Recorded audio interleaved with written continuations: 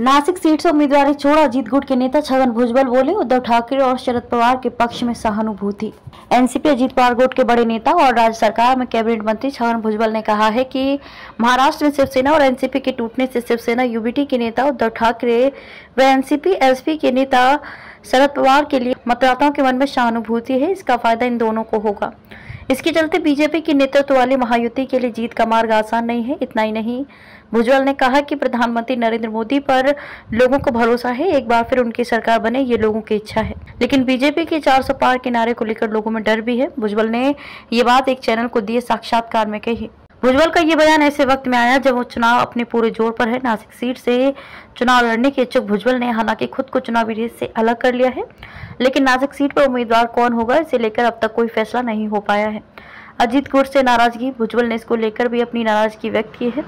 जब उनसे पूछा गया कि क्या एनसीपी अजीत गुट ने नासिक सीट पर अपना दावा छोड़ दिया है, इस पर भुजबल ने कहा कि मैं ऐसा नहीं कह सकता। इस बारे में पार्टी के वरिष्ठ नेता ही फैसला ले सकते हैं। मैं इतना जानता हूँ कि होली के दिन मुझसे कहा गया था कि मुझे नासिक में लोकसभा का चुनाव लड़ना है। मैंने खुद ये सीट नहीं मांगी थी, लेकिन जब मुझसे चुनाव लड़ने को कहा गया, तब मैंने इस बारे में सोचना शुरू किया। भतीजे के लिए टिकट की चाहत दो हज़ार नौ में मेरा भतीजा इस सीट से सांसद रह चुका है। इसके बाद शिवसेना के हेमंत गोड से दो बार से सांसद हैं। अमित शाह के कहने के बाद जब इस सीट पर उम्मीदवारी घोषित नहीं हो पा रही थी तो मुझे लगा कि कहीं मैं ही तो अड़चन नहीं हूँ, इसलिए मैंने चुनावी रेस से हटने का फैसला लिया।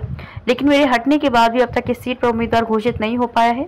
समता परिषद को उम्मीदवार उतारने की तैयारी। भुजबल ने खुद को भले ही नासिक सीट से चुनावी रेस के बाहर करने का सार्वजनिक ऐलान कर दिया, लेकिन जिस महाराष्ट्र में ओबीसी समाज के संगठन समता परिषद, जिसके कर्ता धरता खुद भुजबल हैं, उन्होंने उम्मीदवार चुनाव में उतारने की तैयारी कर महायुति पर दबाव बनाना शुरू कर दिया है। आपको बता दें कि भुजबल मराठों को ओबीसी कोटे में से आरक्षण देने के खिलाफ सबसे ज़्यादा खुलकर बोलने वाले नेता हैं। इसलिए मराठा समाज उन्हें लेकर नाराज़ है। ऐसे में भुजबल की समता परिषद ने नासिक और छत्रपति संभाजी नगर में ओबीसी उम्मीदवार खड़े करने का मन बनाया है। खबर है कि नासिक से दिलीप खैरे और संभाजी नगर से मनोज गोड़के ने नामांकन फॉर्म लिया है। दोनों समता परिषद के पदाधिकारी बताए जाते हैं।